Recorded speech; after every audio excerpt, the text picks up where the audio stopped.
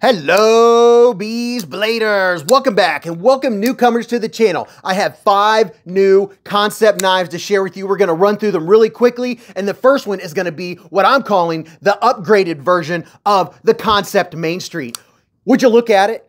Just look at it. And the reason I'm calling it an upgrade is because they've done a couple things that have made a great knife even that much greater, even that much better. And the first thing I'll show you is this right here. The amount of room for sharpening and the ease of sharpening without having to scrape up against the plunge grind. So that is a huge improvement. Secondary is the obvious. Look at here. Now we have a crossbar lock, which is even quicker in and out of the pocket and arguably a much more secure lock on a knife. And I'll show you why. First of all, when you get this one out of your pocket, just like any other liner lock, it's not a problem. You flick it open, then you use it, then you turn it sideways, you disengage it, shut it, then you put it back in your pocket. Whereas with the crossbar lock, you take it out of your pocket, your hand's not moving or having to manipulate the knife sideways, you're ready for your grip. Once you get done with your cut, then it's back in your pocket. So it's a little quicker, it's a little more seamless, and I've noticed on a knife, a pocket knife that I use more, if I'm getting in and out of my pocket a lot more,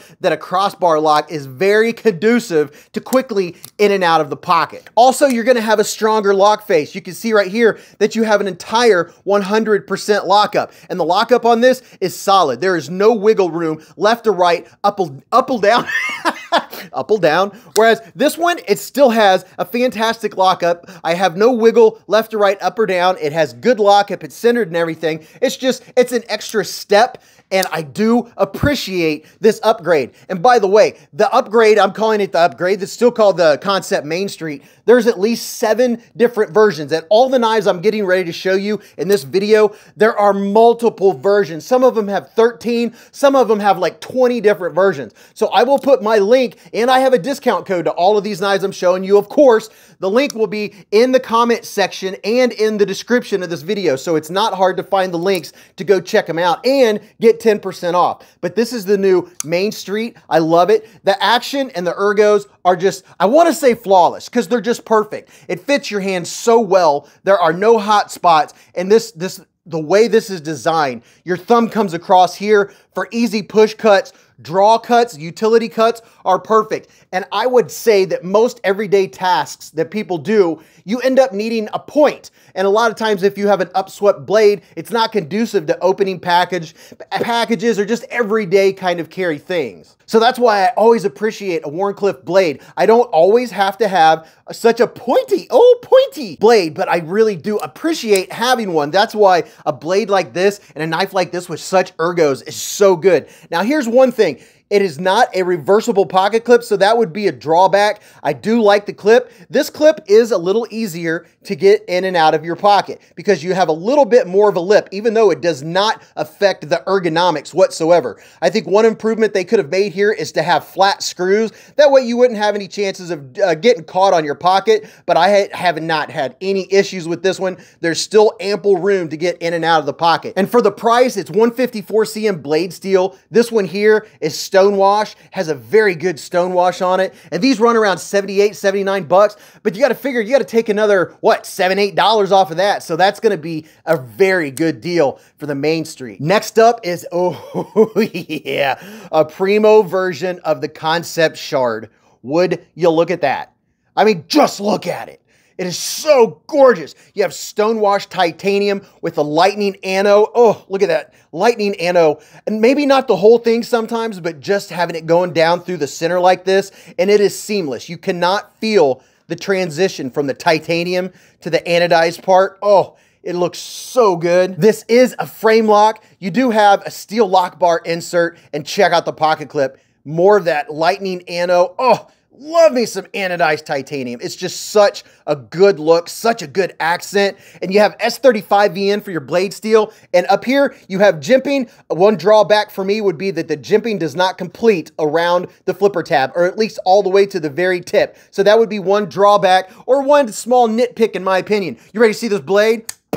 Right in the kisser. Oh, yes. I've shown the shard. We gave away a shard a few weeks ago. We give knives away every Friday night here, Beez Blades, live at the Hive. Oh, right. Don't miss it. Every Friday night, 8.15 to around midnight. Come and hang out with us. We do giveaways. We talk about food. Mrs. Beez comes down. You get to see the puppy, sometimes the cat. We have a lot of fun. But anyway, back to the knife. The Kansept shard is just a dreamy, dreamy knife. It's more of a gents, more of a ladies carry. If you like to have a little more primo, if you're a knife aficionado, or if you're a knife collector like me, then you can really appreciate such a good looking knife. I mean, take this to the steakhouse.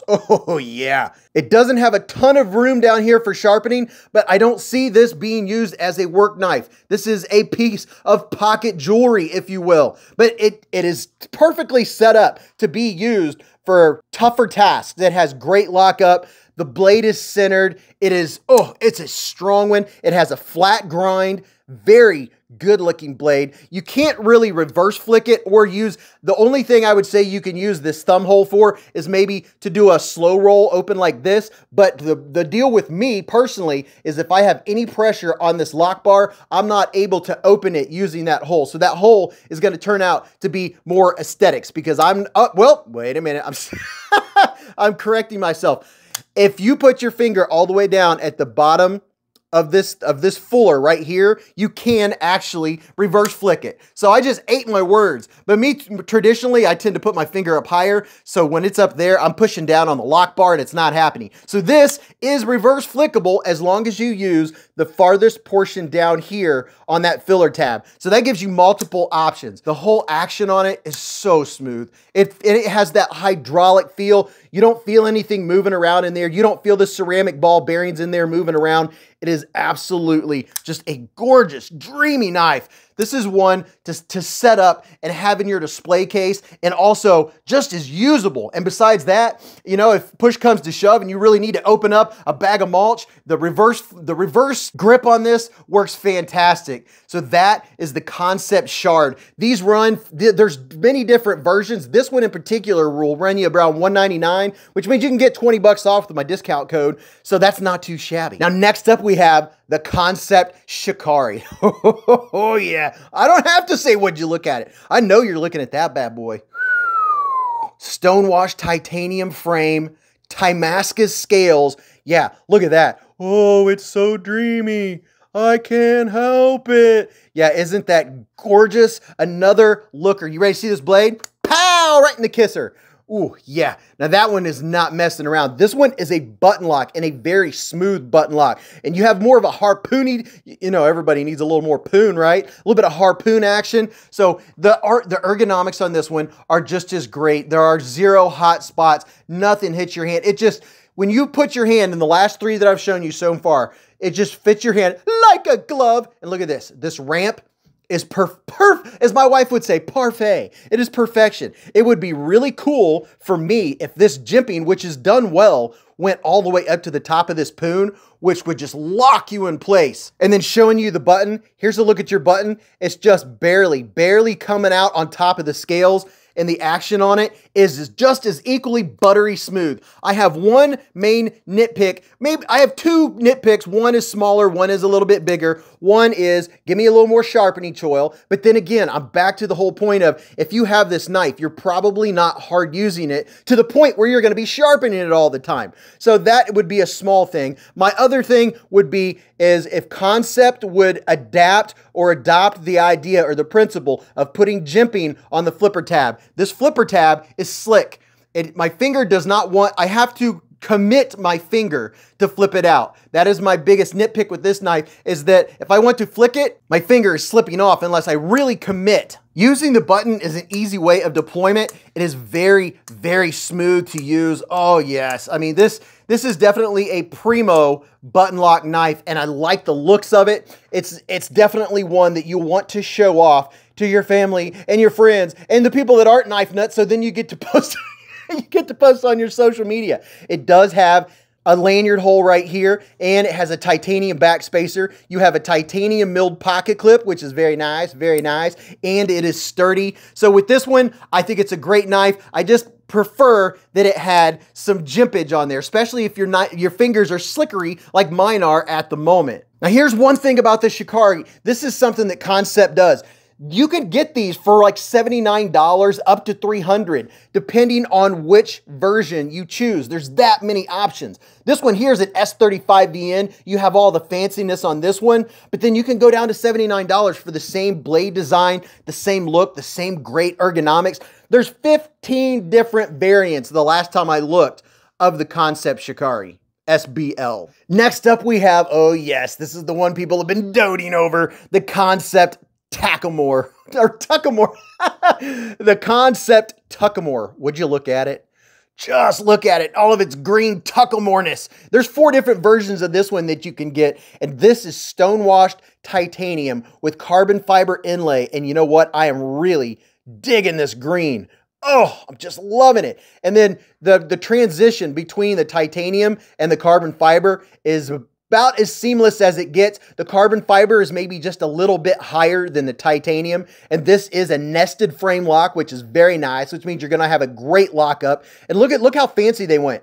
They brought this up like a like a green lava flow all the way around the pivot. I love how they did that. It added an extra accent, made it look very nice. You have a titanium mill clip, and you ready to see this blade? Pow! Right in the kisser. Oh yeah, yeah. Ho ho. Another Wharncliffe blade, and check this out. The ergos are fantastic on this knife. They nailed it. Every one of these knives I've shown you so far, the ergos are so good. I mean, they're that good. This fits my hand like a glove. You have plenty of room. Extra large hands, you have plenty of room. You do have a little bit of forward area right here for doing a little cutting, but this is gonna be such a good draw cut knife. So good for opening packages and everyday things. Great for cutting up stuff, cutting up food. I mean, well, you know, knives are great for cutting up stuff, right? Here's the kicker on this one. Guess what the blade steel is?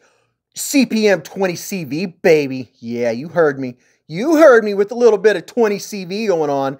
Such a good looking knife. This is a Jonathan Styles design. And I, I have to say, Jonathan Styles, this is a fantastic design. It looks so good. The through, you have just perfect, the perfect amount of pass through to get in there. It is easy to disengage. It has that buttery feel to it. just listen.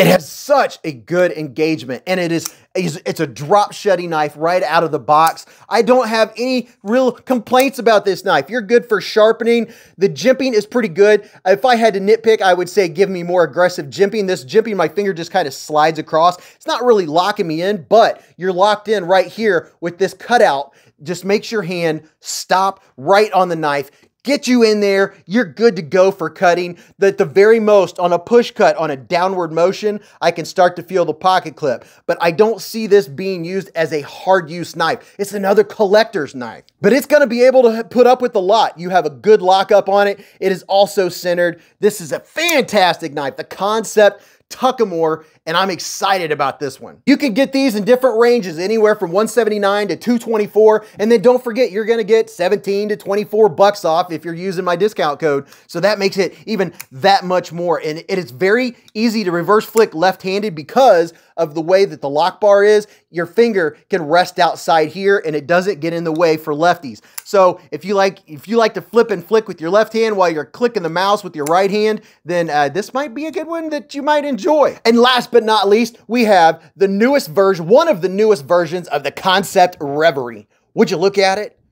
I mean, just look at it. I'm, are you ready for this? There are 25 different color variations and versions from budget to premium of the Kansept Reverie. Here's, a, here's an example of one that I did last year. This one has CPM S35VN steel, so this one's gonna cost you a little bit more. They've got this one, and the, the new one's out, and this is G10, very nice looking G10. And of course, it's red and black Beez Blades colors. This is 154 CM, and by the way, if you're not a big fan of top flippers, check it out. They did the jimping perfect. I mean, that is perfect jimping. Your finger does not slip off. It is easy to flip over top with your index finger or with your thumb. And this is a more, more of a classic style look. If you like the classic style knives, you know, the kind of more have that slip joint look, but it's not a slip joint and it's more modern, this might fit your fancy. This has 154 cm blade steel, and these are gonna run you 60 something with my discount and I love the action on it. It doesn't have a whole lot of room for sharpening down here, but it has a nice, a nice tallish flat grind. It's a flat grind. It's thin behind the edge. It has good blade geometry. I like the looks of this bolster look right here. It has very good texture. And by the way, did I give you some texture vision? How about a little bit of texture vision for you? And there's not a ton of access to the lock bar. However, the lock bar has the right amount of aggression, so it's not difficult to disengage. It is easy to disengage. And that is something that's always a big deal for me that I pay attention to. It does not have a reversible clip. It is a deep carry clip. I would have preferred that they use flat screws because flat screws are always better, less chance of something grabbing a hold of your pocket, but it has ample room and it has a nice bill right here to, to get in and out of your pocket. It is extremely lightweight and the ergos on this one are equally as good. Now, if I'm doing a push cut downwards, I can feel the pocket clip, but it's not hateful, not a deal breaker in any sense of the imagination. This is a great knife. I really do like the Reverie. But here's two versions out of the like 25 to choose from. So there are some brand new Kansept knives for your viewing pleasure. Let me know which one of these is your favorite. Which one would you prefer to carry if you were carrying one? And tell me why. And then tell me what do you think about Kansept knives? What do you know about Kansept knives? What more would you like me to tell you about Kansept knives? I'd be happy to oblige. Now, go watch this video. You're really going to enjoy that. And until I see you again in the lives or the chats or the live streams, remember, live life in the present, keep a band-aid handy, and don't cut yourself.